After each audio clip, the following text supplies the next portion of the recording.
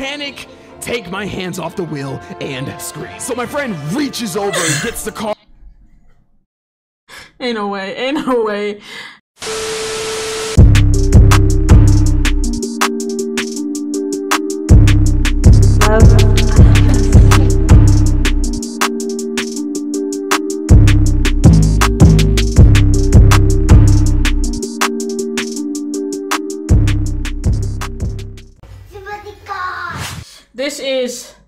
I crashed my best friend's car by Yoyo.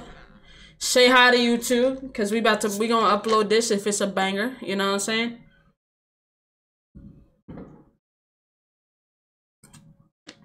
But uh, yeah, let's get into it, man. It's only like five minutes, so let's let's see what Yoyo got in store for us. He uh, I'm I'm waiting on him to get that new uh tablet. Well, he did get the new tablet, but I'm waiting on him to drop some content. But let's get it. Bam! Hits the side of the bridge. It's windy. I'm screaming. He's struggling to fix the car, and then I see sparks on the right side of the window. We are scraping the side of the bridge.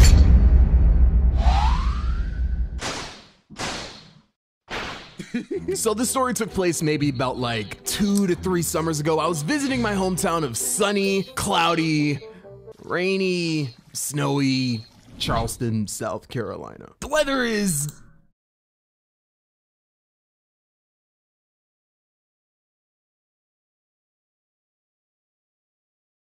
Wait, this nigga Yoyo from Charleston? Say swear to God. Say you swear. I did not know Yoyo was from Charleston. That's crazy. Me and me, honestly, if he's from Charleston, me and him probably crossed paths at one point. I lived in Charleston for like six years of my life. I lived in Charleston for six years of my life. From from tenth grade up until no, I lived in Charleston for five and a half years. Yo, these fucking fireworks, bro. Y'all hear this shit? That's crazy. Well, maybe, maybe we cross paths one day. I'll, I want to meet Yoyo though. He's cool peoples. Pretty broken there. I'm chilling in the hotel and then one of my good homies hits my phone around 8 p.m. Yo, yo, yo, I know you in town. You trying to link? We should go somewhere. And I'm like, say less. Soon after he pulls up, also, he drives this minivan thing. I'm not a car person, so I don't know exactly what it is. Unfortunately, this information will be necessary later on in this story. He picks me up, we go get something to eat, we skip rocks, chop it up for a bit. Nothing but straight up vibes. Rico, the was facts. calm, and the night sky was tranquil. And then out of nowhere, it just starts to rain. Bro, this is Charleston for real. Bro, just whoosh. Was that a rain sound effect? It it starts to rain because South Carolina weather. So we decide to wrap it up and head home. So he's driving me back, and to get to the lake we went to, we had to drive across the Cooper River Bridge, which is this huge bridge that goes over. Bro, we dead ass had to cross paths at at one point. I used to drive past this bridge every time to get to fucking work. That's yo, that's crazy. You never really know like who you you know what I'm saying? Like you just never know. Crazy how like I, I'm reacting to man's videos. He's making content out here doing big shit. We might have crossed paths like before. That shit is wild. That shit is wild. The Cooper River, duh, are you paying attention? So he's driving back, and I'm like, Let me drive the car. I ask him if I can drive the car home. Let me drive the car. can't drive, but I'm, I'm trying to learn. It's around 10 p.m. and there are like no cars on the road. So yeah, I figured, you know, now would be a great time to practice. Why did I think that driving on a 250 foot tall bridge with a fast speed limit in the rain was a good idea? I don't. I, I Slipping. don't know. I don't make good decisions. So my friend pulls over, we switch seats, and boom, I'm driving the whip, and it's smooth sailing like literally just a straight shot. The problem is, near the peak of the bridge, it's like really high above the ground, and remember that storm? Well, now we're like a hundred feet closer to it, so it's mad windy, but it's normal for people to drive on the bridge and have to slightly steer their car in the opposite direction of the wind, so the wind Oh, doesn't yeah, push the that car, wind now- especially no. if the car you're driving is tall. At the time, I didn't know that, so I'm driving, and since it's windy, the car starts to steer to the right, and before I start to flip, Ah, it's a little windy, bro. Just turn the wheel a bit when that happens. he reaches over and steers the car for me. So we drive for a bit more, and then a gust of wind hits the car, and I'm like, I was prepared for this. I casually grab the wheel.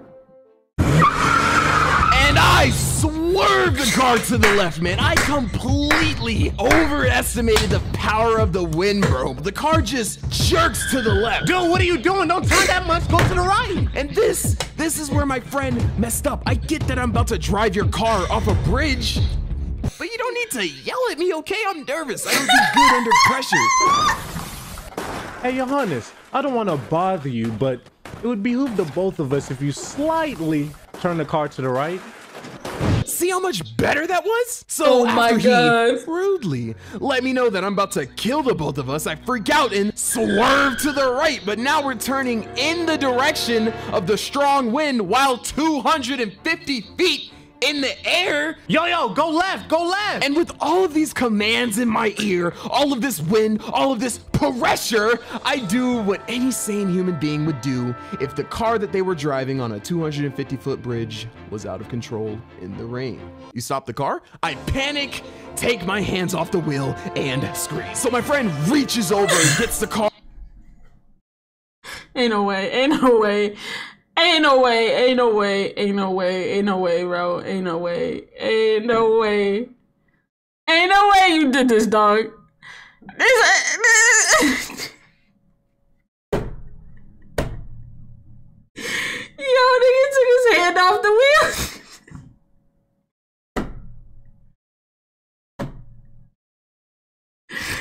Bro, oh my god. Oh my god, bro. And the thing is, the thing is, this reminds me of when I tried to teach my sister how to drive, bro. This shit isn't. It's not. When you're driving with somebody you don't know how to drive, you're already on ten, and when they fuck up, it's like, bro, I don't ever want you driving my shit again. I don't even want to ever be in the car with you again. Like, bro. are kinda straight, but bam, hits the side of the bridge. It's windy, I'm screaming, he's struggling to fix the car, and then I see sparks on the right side of the window. We are scraping the side of the bridge, and I realize why. Bro. I never took my foot off the pedal. If anything, the stress is making me step harder. So my friend's like, Dude, just stop the car. I slam on the brake, but inertia. So we swerve to the left, but after violently spinning, the car stops. He gets out and doesn't say a word. I do the same. We switch spots and he takes me home. I'd like to say I didn't mess up his car, but like I refuse to believe that there was no damage. But at the same time, he he never said anything about the damage and I've talked to him since like he's a homie. He's probably to watch this, but in order to help my conscience, I'm just to assume that the car is totally fine. And if not, well, he's technically the one that swerved to the left. Alright, so Ain't shit. Yo, yo, you ain't shit, fam. Yo, yo, you ain't shit, G. Yo, yo, yo. Yo, yo, ain't shit, bro.